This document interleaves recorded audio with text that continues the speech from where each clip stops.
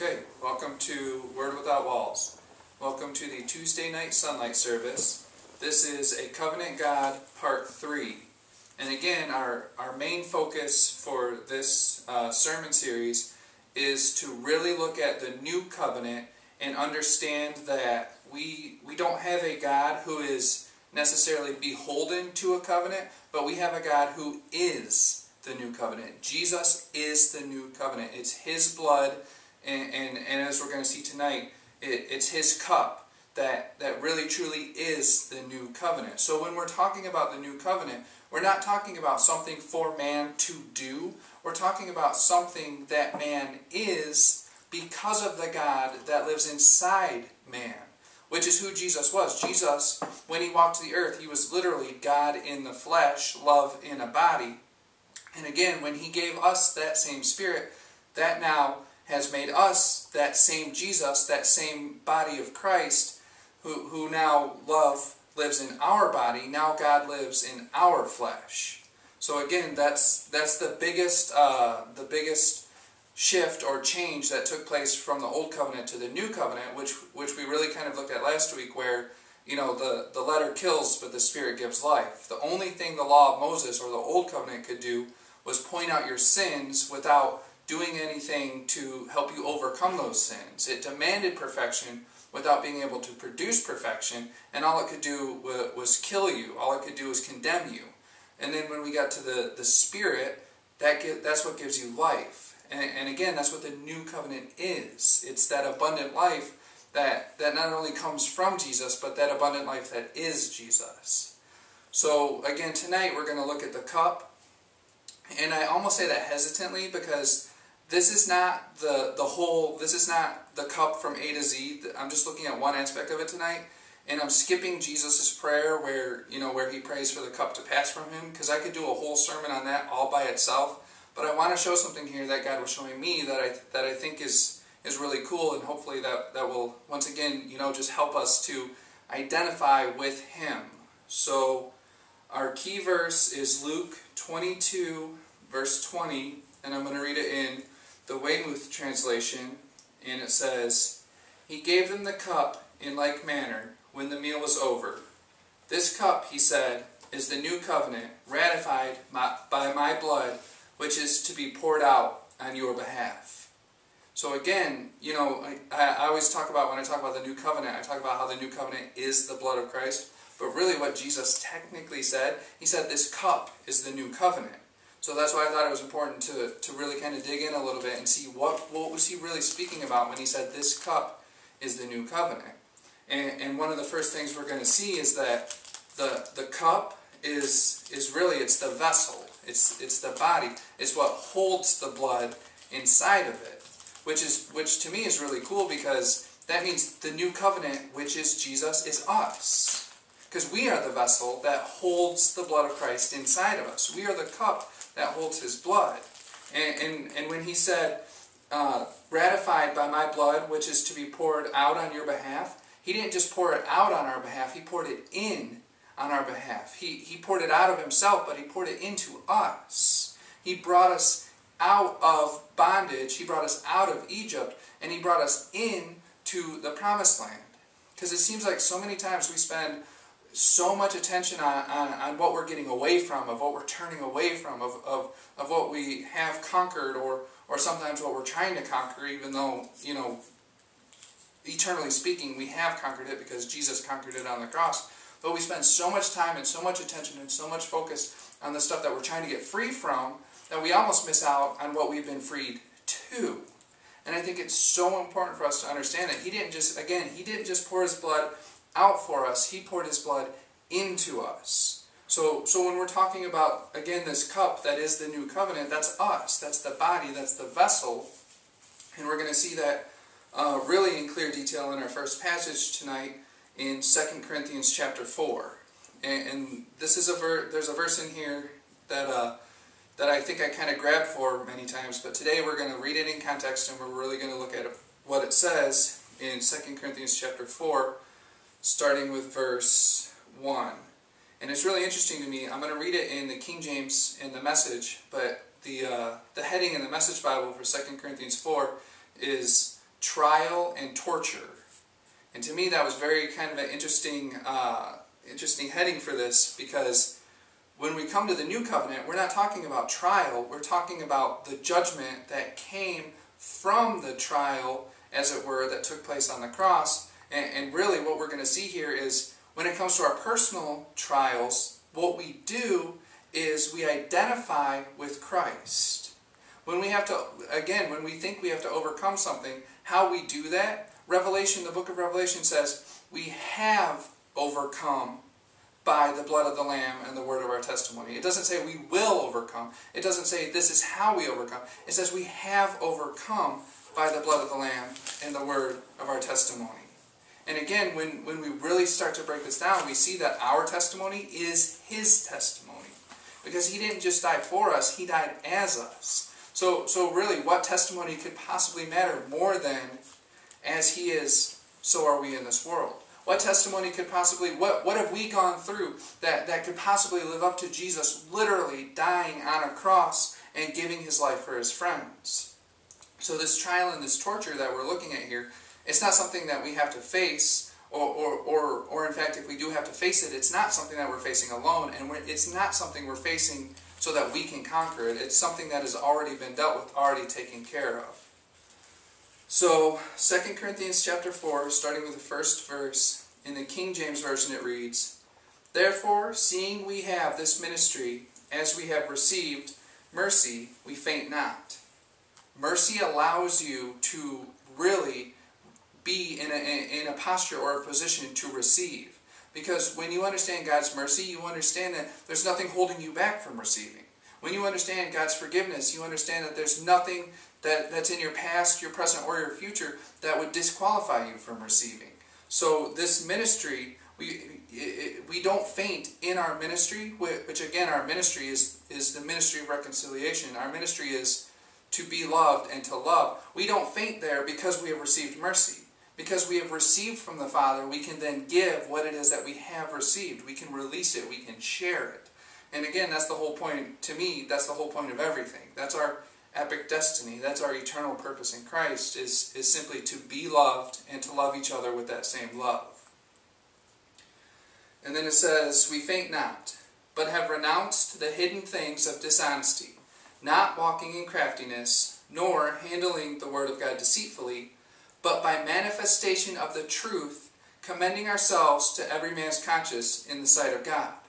And again, you know, what happens when the truth manifests? Jesus manifests because he is the way, the truth, and the life. So when we're talking about truth, we're not talking about just saying something. We're talking about, you know, again, we're talking about personifying something. We're talking about a lifestyle. We're talking about not just what we do, but who we are. If he is the truth, and if, you know, as he is, so are we in this world, that means we are the truth. And that's what I'm really trying to say tonight is, if it's true about Jesus, it's true about you.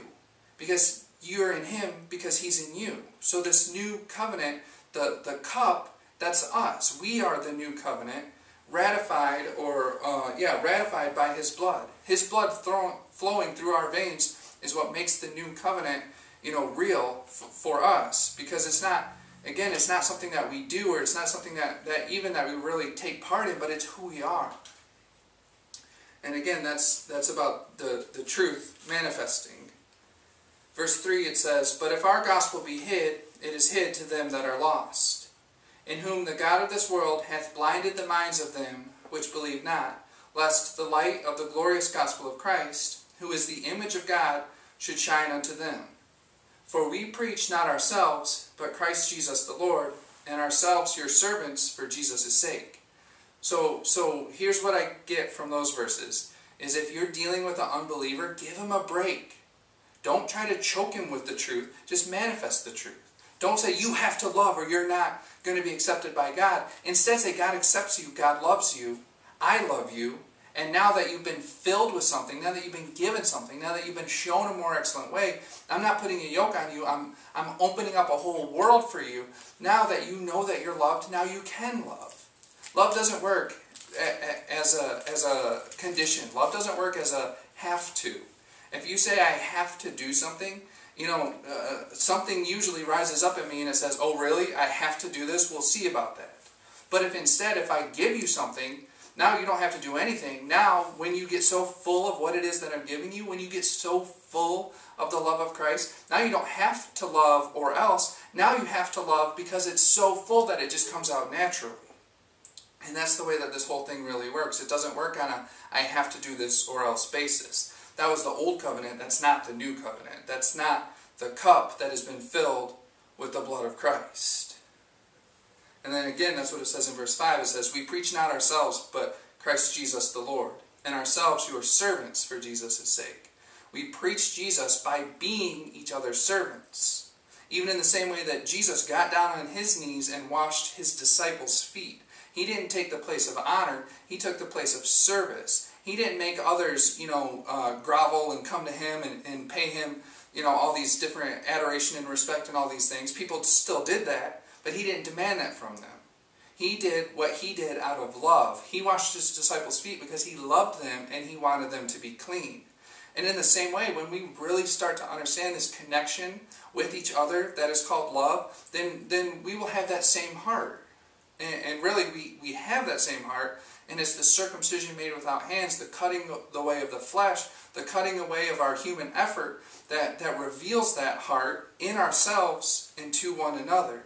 That, that we get to the place where now it's not about I'll scratch your back if you scratch mine. Now it's about if your back itches, I'll scratch it for you because I love you. And it comes from a, a place of I, I don't need anything from you. I have what I need, so let me give you what I have. And then it says in verse 6 for God, who commanded the light to shine out of darkness, hath shined in our hearts, to give the light of the knowledge of the glory of God in the face of Jesus Christ. Why does the light shine? The light does not shine to change things. The light shines to give the light of the knowledge of the glory of God in the face of Jesus Christ. The light shines to reveal things. The light shines to show us Jesus to show us who we truly are by showing us who he truly truly is the knowledge of him. That's why jesus even when he said you know when he said if you're tired and weary come to me he said take my yoke upon you. He said learn of me for my yoke is easy and my burden is light. When, when we have this knowledge of jesus and i'm not talking about a book knowledge i'm not talking about what other people think about jesus knowledge I'm talking about when we have this experiential knowledge of who He is, when we know the Father in the context of, I am His beloved Son in whom He is well pleased, that's when the light is shining. And when the light shines in you, it, it shines out of you. In the same way, again, Jesus poured His blood out and He poured it in, and now again, once it's in there, it comes out of there. We are the spout where the glory comes out. But if we don't know and believe that there's glory in there, then there's no glory that's going to come out of there. So again, that comes from knowledge. It comes from the knowledge of Jesus. It comes from the knowledge of the finished work. It comes from knowing Him as we are known by Him. It comes from that relationship, that unity, again, that, that can only come from love. So when we think about these things, it's not about, you know, you know, I read the Bible more than you, so I have more knowledge of Jesus. Because Jesus, he, he even condemned that. He said, You search the scriptures because you think there's life in them, but the scriptures speak about me. I'm right here. I'm talking to you. I'm hanging out with you. I'm interacting with you. I'm connecting with you. I'm having a relationship with you. And you're missing it, you know, like, like again, like the story of, of the, the two women, uh, Mary and Martha, I think. I didn't look this one up. God just kind of dropped this one on me. But one of them was running around trying to get the, the, the party ready, and the other one was sitting at Jesus' feet, learning of him and experiencing him and, and connecting with him. And, and, the one who was running around like crazy was like, Come on, can, can I get some help here or what? And Jesus said, No, she's chosen the better thing. It's not about all your deeds. It's not about pleasing God through your actions. It's just simply about spending time with Him. It's just simply about knowing Him, knowing His heart, you know, putting your, your head on, on, on, his, on his breast so you can hear his heartbeat. It's just about understanding that he loves you and he wants to take care of you. And, and when you know that, and I'm talking about when you know that, then all this other stuff, it just really, it just fades away because you know he's got the whole world in his hands. He's got it taken care of. 2,000 years ago on the cross, he handled every situation that you would ever need to face. And now when we face that situation, what do we do? We manifest the truth. We just bring forth from within what He has put within. So, again, that's that's to me, that's that's what the light does. It doesn't change your situation, but it reveals your situation as it truly is. It shows you how things have been placed in divine order. And then verse 7 is where I wanted to get because this is the one that really kind of brings us back to, to the idea of the cup being the vessel. We are the cup, we are the vessel filled with the precious blood of Christ that he poured out for us and poured into us. Verse 7 of 2 Corinthians 4 says, But we have this treasure in earthen vessels, that the excellency of the power may be of God and not of us. So, so, and I love the next couple of verses. We're going to read them in a second. But this is where everything comes from. The treasure in the earthen vessel, the inner man, the spirit that dwells within us. God in the flesh, love in a body. It all comes from what's within because what's within is, is what comes out. And we're going to look at that again in a second too. But now that we understand this, now that the light has shined in our hearts, now that we have some, some knowledge of who Jesus is and what he did, and, and more importantly, who Jesus is in us and what he has done in us and what he is doing through us, now we get to the place where in verse 8 it says, we are troubled on every side, yet not distressed. We are perplexed, but not in despair. Persecuted, but not forsaken. Cast down, but not destroyed. Always bearing about in the body the dying of the Lord Jesus, that the life also of Jesus might be made manifest in our body. So again, how does the life, how is the life of Jesus made manifest in our body? Because we carry his death because we understand the cross, because we understand that first he had to be crucified, he had to die, he had to be buried, and then because of that sacrifice that he made for us and as us, out of that death springs forth his life. And, and, and again, the next six steps to the throne, the first three are crucified, died, buried, and then the next three are quickened, raised, and seated. But you can't have the last three until you understand the first three. You can't identify with his life until you identify with his death because his death was your death. And if you're trying to fit an abundant life into an old man, it doesn't fit. If you're trying to put new wine into an old wineskin, it's gonna, uh, it's gonna, you know, it's gonna crack and the wine's gonna spill out, and it's not gonna fit. If you try to add uh, a little bit of law and a little bit of grace, if you try to have that mixture, it's not gonna fit. It doesn't work. It's a new cup, a new covenant filled with new blood. It's all about Jesus, which. Uh, which I guess I can skip ahead a little bit because this fits here. Stay here in 2 Corinthians, but I want to read in the next verse in 2 Corinthians. 2 Corinthians 5.17 says, Therefore, if any man be in Christ, he is a new creature. Old things are passed away. Behold, all things are become new. And this is the point of the new covenant. We saw last week that, that with the change of a priesthood, by necessity, there was a change of the law. And it's no longer a law that condemns, but it's a perfect law of liberty. It's, it's the law of life in the Spirit. It's totally and completely new.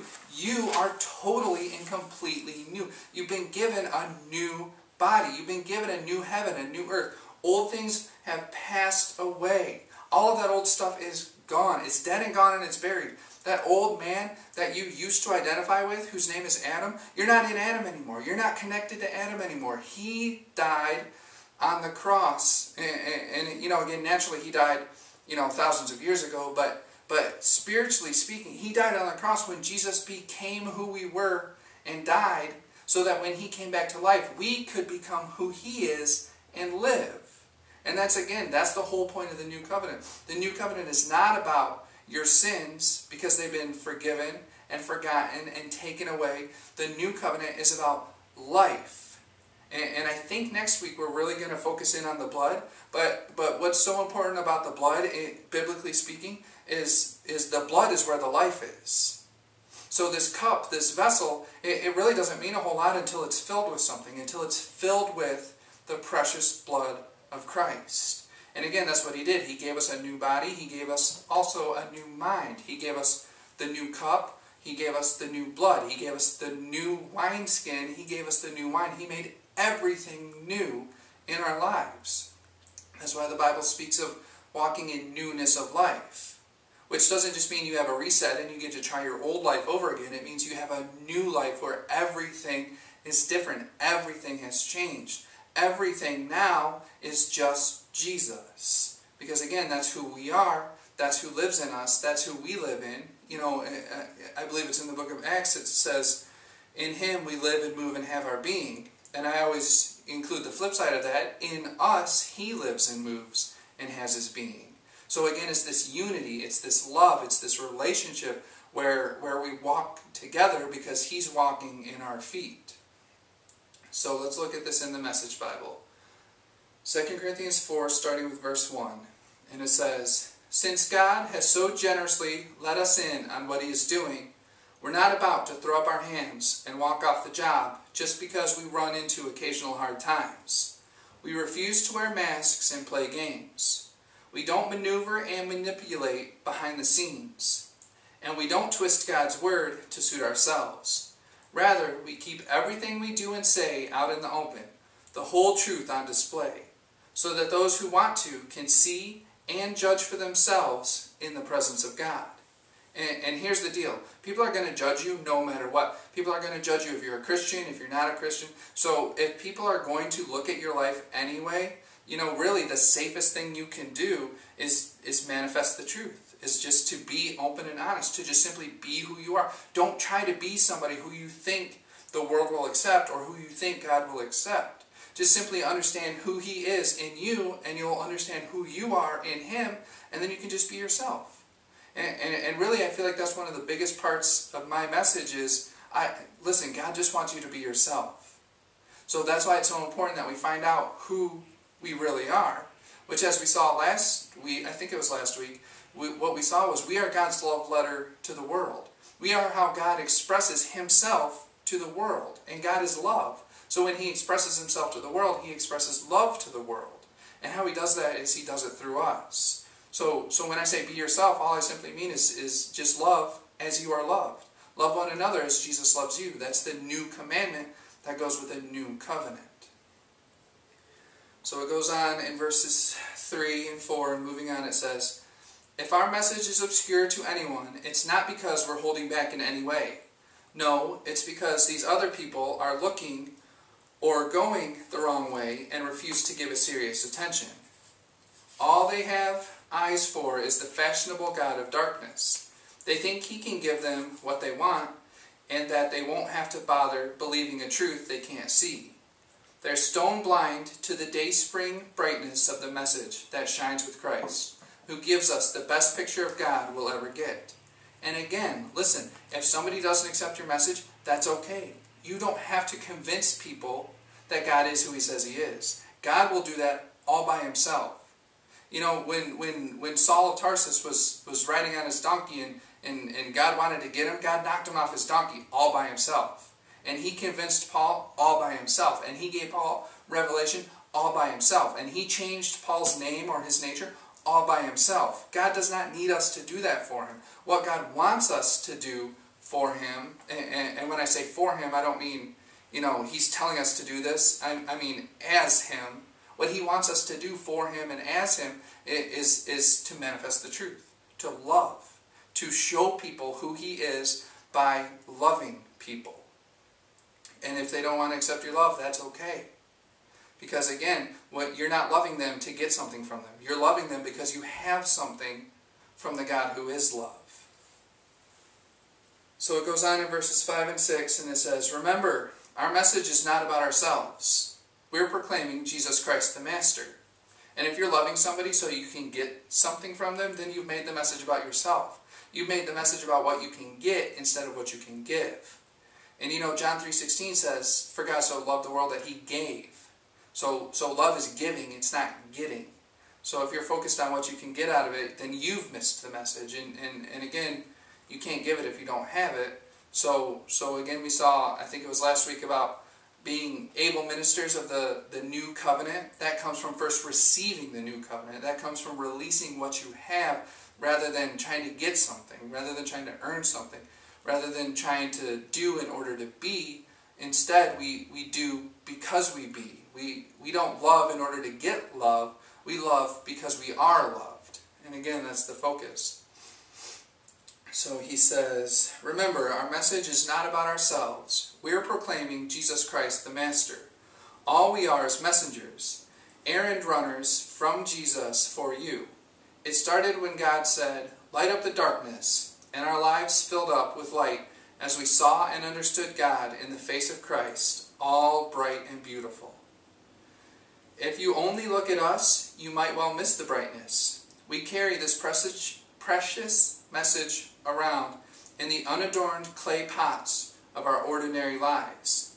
That's to prevent anyone from confusing God's incomparable power with us.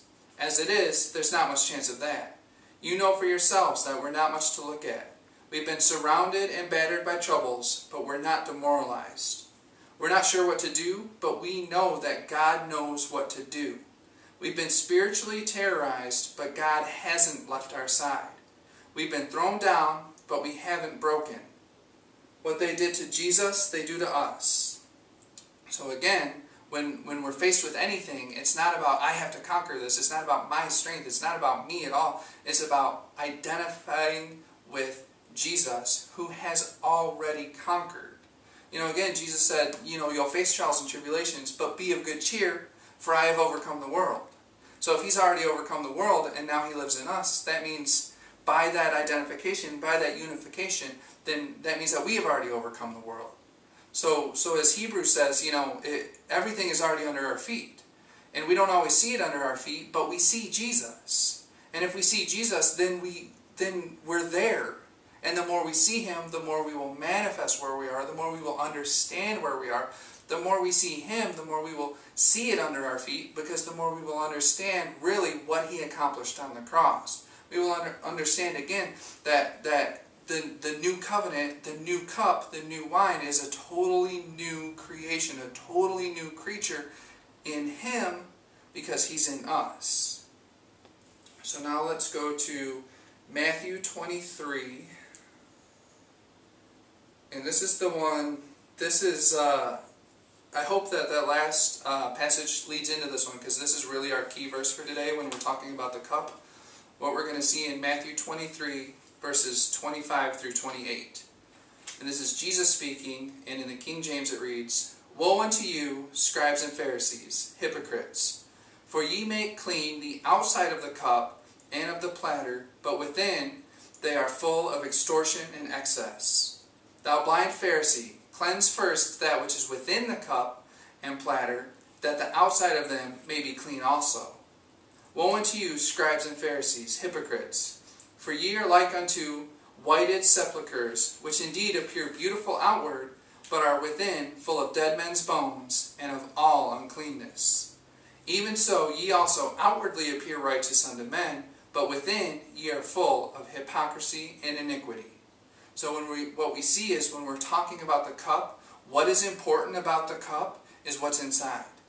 It's not about which cup looks the best. It's not about which guy looks the most righteous. It's not about you know having, having this this beautiful sepulcher, which is eh, again which is full of dead man's bones. It's not about what's on the outside. It's not about that outward man. It's about what's inside. And again, you know, he when he's speaking, you know, before the law, when he's speaking before the cross, and he's he's telling people to clean what's inside. That's what he did on the cross. He cleaned our inside. He he he gave us that uh, that blood transfusion, as it were, that heart transplant, as it were, where he cleaned out what was inside, so that what was outside even would be clean. He did all of the work to perfect us, to present us to himself as a bride without spot, wrinkle, or any such thing. So, so again, you know, if you're trying, if you're looking in, in, the mirror with a natural face, if you're looking at the mirror through through the law or through the veil of the law, and you see all these spots, you're going to act like somebody who has spots because that's what you see, that's what you believe about yourself. But if you look into the mirror with an unveiled face, if you if you can understand that Jesus fulfilled the law and he hung it to the cross because it was obsolete and because it was contrary to us, because it was against us, because it was condemning us, if you can see that that stone has been rolled out of the way and you can look into the mirror with an unveiled face, you'll see the glory of God in the mirror. Not because God's in the mirror, but because God's in you. And when you see that, that He presented you to Himself without spots, then you'll stop acting like you have spots. Then you'll stop focusing on spots. Then you'll stop trying to get rid of spots because you'll see He did the work. And now I get to enjoy the fruit of His labor. And the fruit of his labor is the fruit of the Spirit. And the fruit of the Spirit is love. So now that I can quit looking at myself and saying, well, God couldn't possibly love me because of this spot and this spot and this spot, but instead I can look in the mirror and I don't see any spots, then I can say, of course he loves me because he's my dad and I'm his son. Of course he loves me because I'm his. That's why he did everything to, to, to, to reconcile us to himself. We were enemies in our minds because of our wicked deeds. But even when we were sinners, even when we were unbelievers, even when we were running away from his presence, he still died for us. And that's how he showed us his love for us. And again, we're going to look at that in a second because there, there's a big aspect of, of how Jesus you know, got, got rid of the old cup, as it were, how, how he drank what was in the old cup, as it were, in order to be able to have a new cup, in order to be able to fill us with, with his blood. So we're going to look at that in just a second, but I want to read this in the Message Bible first. Matthew 23, starting with verse 25, it reads in the Message Bible, Jesus says, You're hopeless, you religion scholars and Pharisees, frauds. You burnish the surface of your cups and bowls so they sparkle in the sun, while the insides are maggoty with your greed and gluttony. Stupid Pharisee, scour the insides, and then the gleaming surface will mean something. You're hopeless, you religion scholars and Pharisees, frauds. You're like manicured grave plots, grass clipped and the flowers bright, but six feet down, it's all rotting bones and worm-eaten flesh. People look at you and think you're saints, but beneath the skin, you're total frauds. And again, this is so important. That's why Jesus died and was buried and rose again. That's why we understand that, that uh, our sepulcher, as it were, it's not filled with dead man's bones, it's empty. There's no death in us. There's no darkness in us. There's simply Jesus living in us. And, and, and, again, you know, we're not rotting bones anymore. We're, we're, not, we're not sinners anymore. We're saints. We're, we're, we're alive.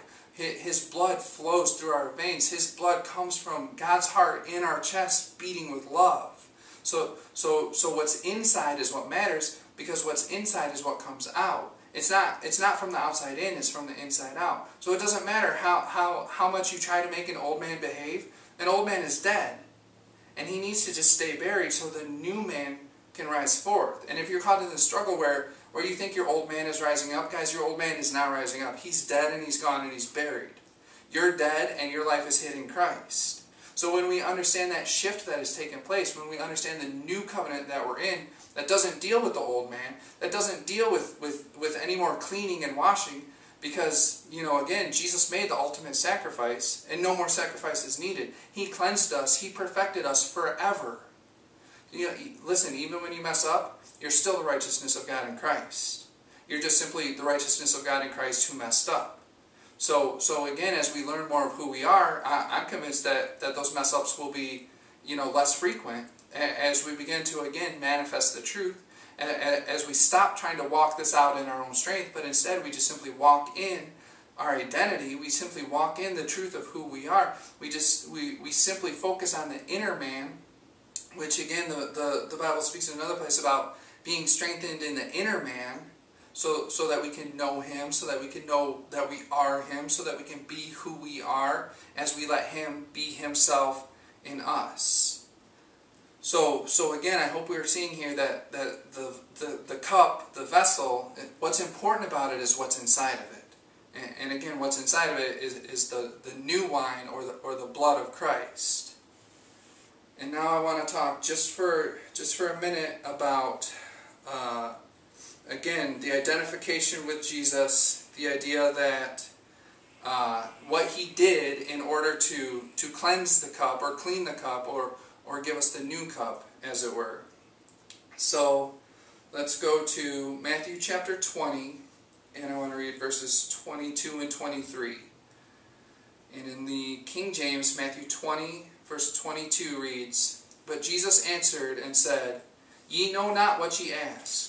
Are ye able to drink of the cup that I shall drink of, and to be baptized with the baptism that I am baptized with? They say unto him, We are able. And again, these are the disciples who, who wanted to sit at his right hand and at his left hand. These are the ones who wanted the best place. These are the ones who, who wanted the glory and the self-righteousness for themselves. And Jesus said, Can you drink the cup that I'm going to drink? Can you be baptized with the baptism that I'm baptized with? And they said, Yeah, yeah, we can do that. Whatever it takes to get the top spot, we got this. Because they, again, that's that carnal mindset of doing in order to be, of earning something. And then in verse 23 it says, he, And he saith unto them, Ye shall indeed drink, ye shall drink indeed of my cup, and be baptized with the baptism that I am baptized with. But to sit on my right hand and on my left is not mine to give, but it shall be given to them for whom it is prepared of my Father. So Jesus said, first Jesus asked, can, can you drink of this cup that I'm going to drink of? And they said, yeah, yeah, we can do it. And he said, listen, you're going to drink of it, but it's not going to get you the result that you think it is. It, you're not doing it for the reason that you think you're doing it. There's something else at play here. There's something much bigger here than you doing something in order to get something. And what we're going to see, you know, again, is, is, is we drank the cup when he drank the cup.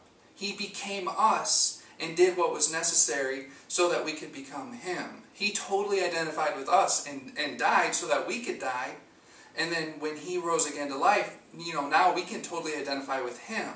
He did it all. He finished the work. And that's what, again, that's what we're going to see in, in just a second. But, uh, but first I want to go to Psalm 75, verse 8. And it says, For in the hand of the Lord there is a cup, and the wine is red. It is full of mixture, and he poureth out the same. But the dregs thereof, all the wicked of the earth shall wring them out and drink them.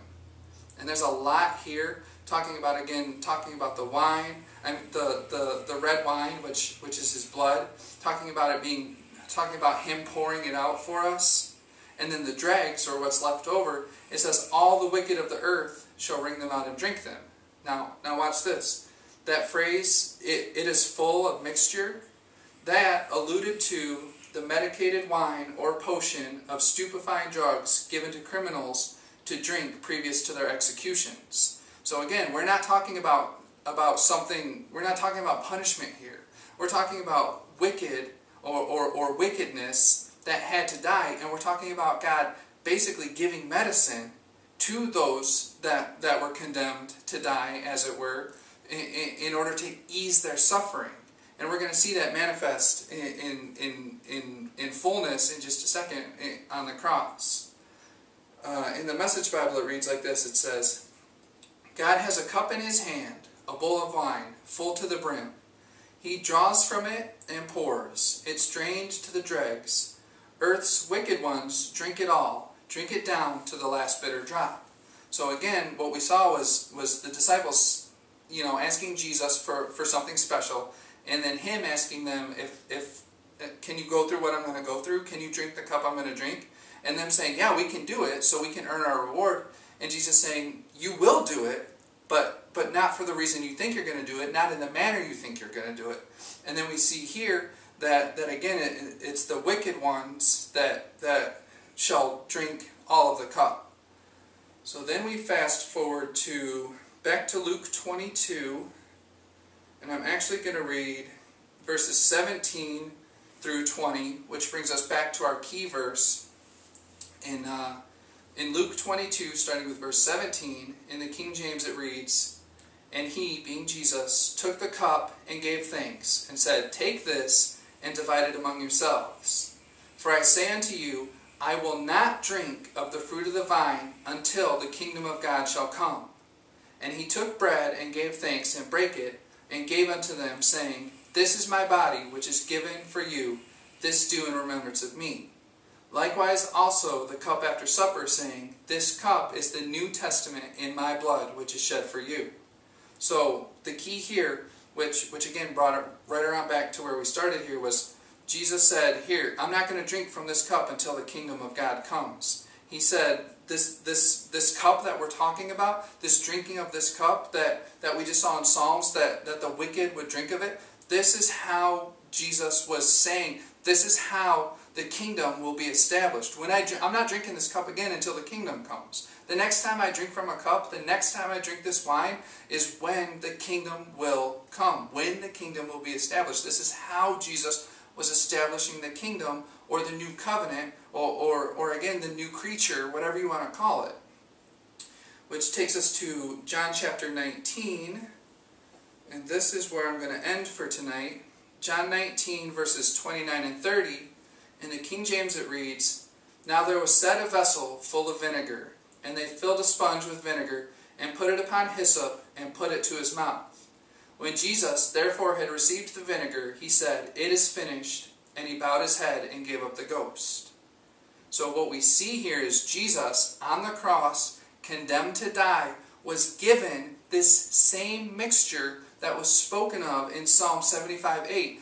Jesus was given the wine that was that that that was prophesied to be to be drank to the last drop by the wicked man, which which again which simply means that Jesus became sin so that we could become the righteousness of God. Jesus totally and completely identified with us he was lifted up from the earth. He was lifted up on the cross. He drew all men into himself. He drew all of our wickedness into onto himself. He drew all of our iniquity, all of our sin into himself. He became who we were, and he drank that cup, both for us and as us. So, so in the exact same, just like he told the disciples, he said, you will drink of the same cup that I'm drinking of. But again, he didn't make them drink it. They drank it when he drank it. They drank it because they were in Him. He, he, he did it all for us and as us. He completely identified with us. He drank the wine again. This is the next instance after he said, I'm not going to drink wine until the kingdom comes. This is the next time he drinks that wine. This is when the kingdom came. When he said, it is finished. When he gave up the ghost. When he died on the cross. And, and, and again, three days later rose again. That's when the kingdom came. That's when everything that was prophesied came to pass. That's when the promise of God to, to you know, again, the very first covenant that, that he made with Noah, where he said, I'm going to wash away the wickedness of the world, but I'm going to put you in the ark. That's when this came into full uh, fulfillment. That's when this came into fullness. That's when it totally and completely manifested, is, is, when Jesus became that wicked man. He became Adam, so to speak, and he drank from that cup as a condemned man who, who again, was getting that, that medicated wine. He was getting that uh, he was getting that mercy, he was getting that, you know, uh, uh, pain management, as it were, before he died, so that he could establish this new kingdom, so that he could uh, uh, establish this new covenant, so that he could give us a new wine. He took what was necessary both for us and as us, which means we took it, which means when he died again, which means we died, so that when he rose again, so that we could live. And, and I even like it better in the Message Bible in John 19, uh, verses 29 and 30. It says, A jug of sour wine was standing by. Someone put a sponge soaked with the wine on a javelin and lifted it to his mouth. After he took the wine, Jesus said, It's done, complete. Bowing his head, he offered up his spirit. So again, this, this man who is condemned by man, not by God, this man who is condemned by other men, he laid his life down. He offered up his spirit. He took what we needed in order to give us something even better. He took what was what was given for us because again, you know, we we were already dead, really. We were dead in our trespasses and sins. And then when Jesus became who we were and died, that was the second death that allowed for a new birth. That's what brought us out of the old and into the new. That's what brought us out of bondage and into the promised land. That's when he poured his life out for us and, and poured his life into us, or, or again, poured his blood out for us and poured his blood into us.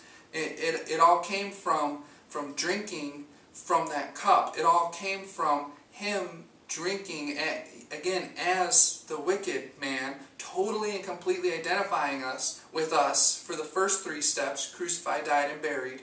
When he was crucified, he drew us into himself. When he died, we died. When he was buried, our old man was buried. And then after that, because the kingdom was established with, with him drinking that wine again, he said, I'm not going to drink wine again until the kingdom comes.